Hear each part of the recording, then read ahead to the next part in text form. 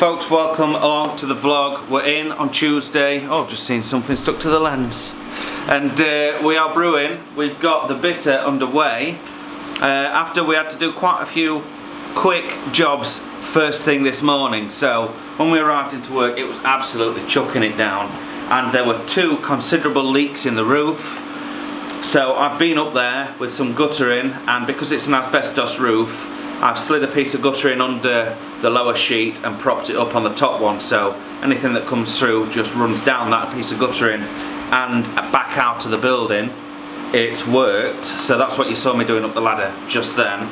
Gemma's off work today. She, she's with us in the brewery today, not off work, she's at work with me should I say. Um, so unfortunately she's going to have to take it steady. We're a family of invalids, she's done a back in bless her but what she's doing for me at the moment is she's tidied the workshop, which I can always tell the difference.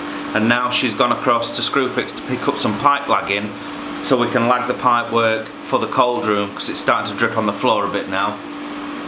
And then off the back of that, I've decided to clean all three tanks because we're going to do back-to-back -back brews. And uh, I noticed that a couple of fittings, I needed some more fittings for the CIP. So I sat down and I quickly welded up four fittings. I apologise for not getting any footage, but I was absolutely ripping through all these jobs. And then I fitted a ventilation pipe to the boil kettle to prevent any uh, boil overs happening on the top of the kettle. I'll show you what I mean.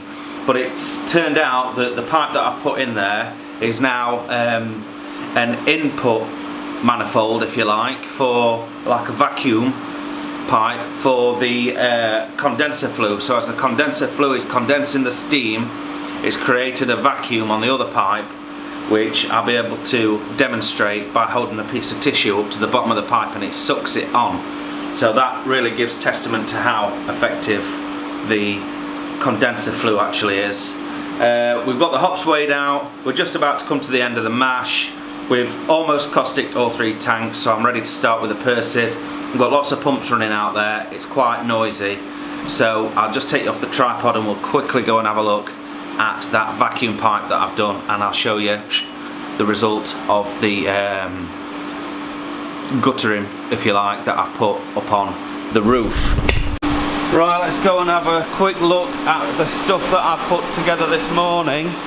So the first thing we've done is uh, repair that leak up there so you can see what I've done with the guttering. It kind of does work to get a better shot. So that's the top, that's the bottom, and you can see it runs underneath that other section there to take it back out the building. It looks the wrong way because I've got the funny camera angle on it, but trust me it works. And then you can see here where we started it to accumulate a puddle of water from a leak over here and that of course was coming from directly above us. And again you can see the drain pipes have fixed the problem completely. So that's good news from uh, that front. And then if we go across here you'll be able to see the vacuum pipe that I've installed onto the boil kettle. So it's just quick release. And I know it's a vacuum because it's cold to the touch whereas the condenser fluid is red hot well, it's not red hot, but it's hot. So if we just take a little bit of tissue paper like this, and we come to the bottom, and we just hold him up there, he will eventually make me out to be a liar. There we go. So you can see that it's definitely created a vacuum, and there's the condensation uh, coming out the bottom of the condenser flue and of course away to the drain.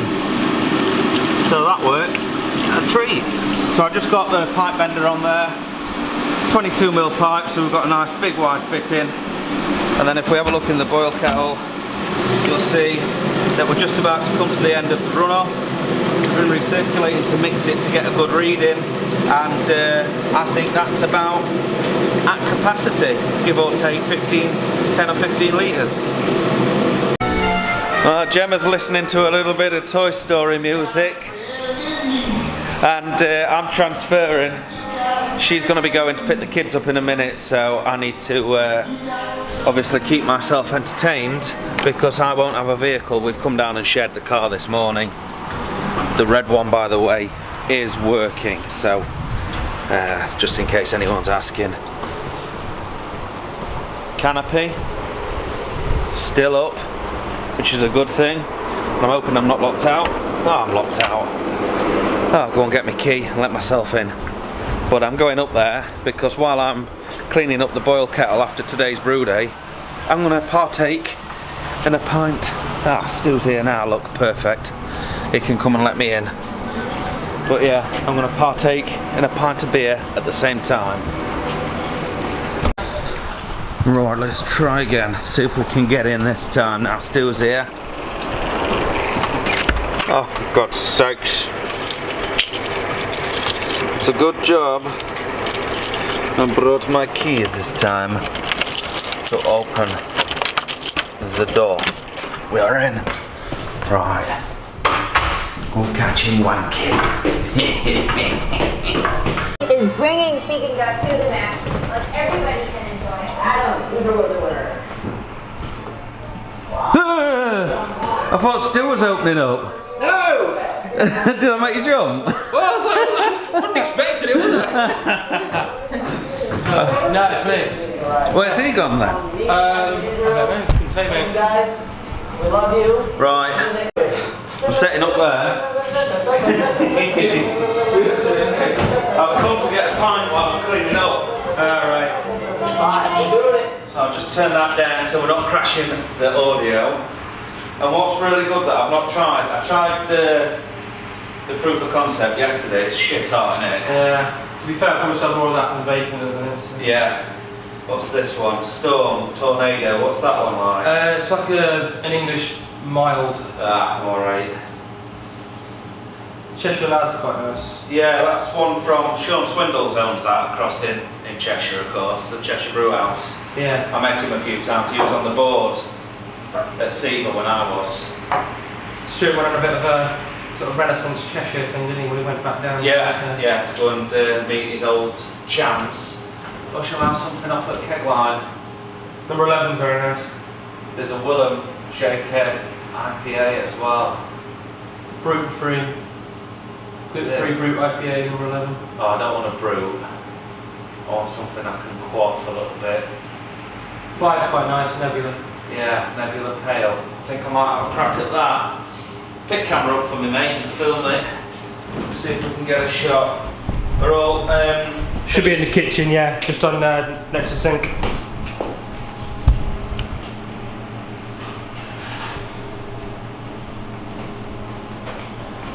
Right, you'll be able to watch me cock it up. These beers don't pour quite as nicely as my homebrew ones do at home. So uh, there's a knack to it in the body. Is this one lively? Sometimes. Sometimes. Right, let's see if we can do it. Oh, we're 80% there. I think that'll do. Let's it settle. It is, it's a lively beer anyway, isn't it? Yeah. Look at the haze.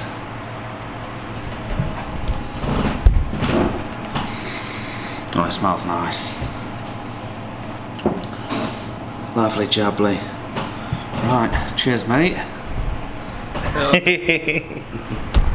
cheers, buddy. Alright. Budding cameraman. Yeah. Let's get the, let's get it.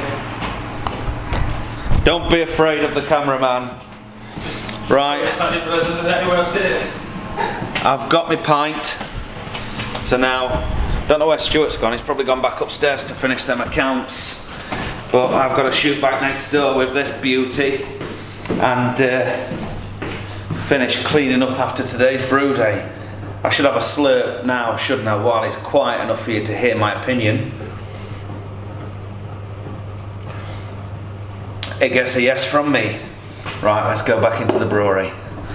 So while I was next door, um, I had to wait for the HLT to fill up so I could unplug it and it so it wouldn't overflow. Get your words out, lad. Um, so what I've done, I normally collect any extra water that's after refilling the HLT for cleaning.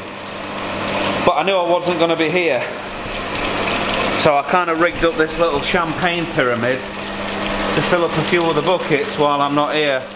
Kind of worked. I've got like two buckets out of it. So we'll fill the third one. And then we'll have four buckets of water for cleaning and swilling down when we're finished. So we're transferring across here into tank one. We're starting a little bit warm, but the cooling system's bringing it down for us.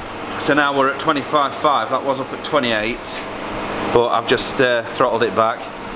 That's the caustic from cleaning all three tanks. I'm saving that. I'm going to give the preliminary rinse out the boil kettle with that. And then let's have a look inside. It actually looks almost the same colour as the bitter. So let's have a little peek in here. And we can see we're just about to hit the elements down the bottom. You can just see that little bit there. That's the takeoff port. So we're pretty much finished now. So we'll just wait for the sound of this pump to change. You can tell it's finished because it'll go as it sucks in air and then we'll close that valve off. We go and fetch the other end of the pipe from over there. We bring that down here and we pop that up on here and we back flush water all the way through the system to get rid of any beer and any trub and then we'll start to recirculate some hot water and then we'll throw that caustic in, recirculate that caustic then more hot water and then once it's totally run clean listen.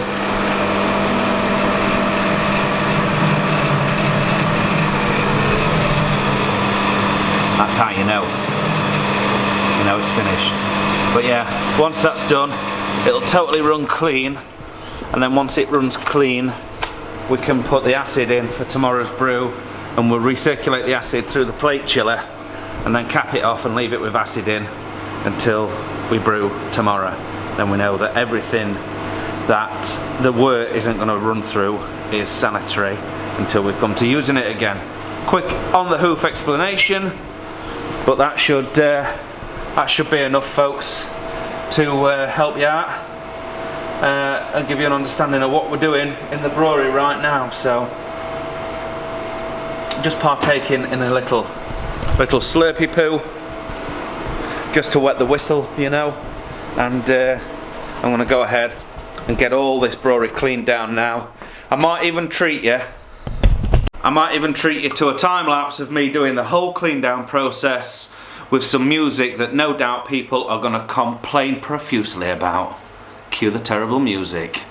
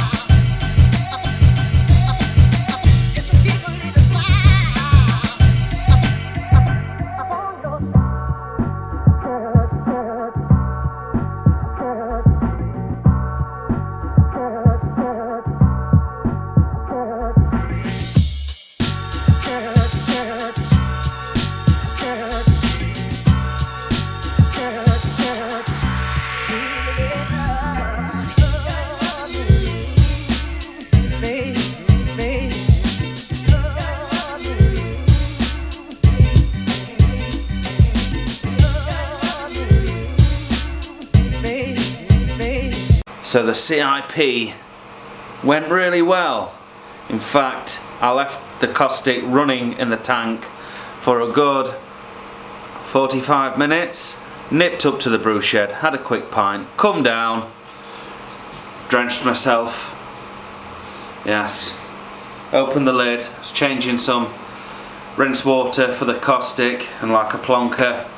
Uh, as I was dosing the caustic, I opened the lid and got covered in it. So there's a chance that, uh, I'm alright, I've washed it off myself, but there's a chance that this navy blue or blue, dark blue shirt may become mottled with white patches. It's a chance. Anyway, never mind. Uh, we're just about to set off home. Because I've not brewed for a couple of weeks, I forgot that uh, I forgot the process that I'd used previously, which was to fill the tank up with cleaning solution like I have now, and set it to come on with the HLT in the morning. And then before I arrive, it's had like two hours of cleaning cycle. Whilst the HLT heats up the CIP is in action. And then when I arrive the tank is spotless. I just have to rinse an acid for the brew day. So that's what I'm going to do. Uh, put in the spent caustic into the boil kettle for the first initial clean uh, was not a good idea. So this caustic was spent because it had been through three fermenters. And something that I neglected to recall was that uh, two of these fermenters were recently emptied. And whilst they'd been rinsed they still contain a considerable amount of CO2 and CO2 actually uh, it dilutes the effect of caustic of sodium hydroxide it's an enemy of sodium hydroxide so essentially you build up I think sodium carbonate I believe is the byproduct uh, which makes the solution inert and takes away its cleaning properties. So uh, I had to empty the spent caustic from the boil kettle and redose it, which is why I got drenched. But uh, never mind, uh, we're just going to fall back to the original system that we had running a couple of weeks back and fill up the tanks ready to come on in the morning with the HLT. Just on a side note, I've had one of the duplex lights go out on this STC. Is anybody familiar with that? Look at the uh, decimal place. So that should read 11.0, but it reads 11.C. Anyone know how to fix that?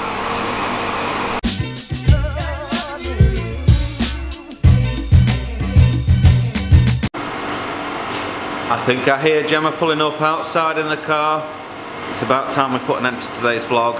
So join us tomorrow if you want to see a little bit of the Pale, Harrison's Pale Brew Day. Uh, we'll talk a little bit about the beer if I can and uh, maybe a few other bits and bobs. So make sure you hit the subscribe and the bell icon to be informed of that video, which you know is coming out tomorrow anyway. We'll see you then. Cheers.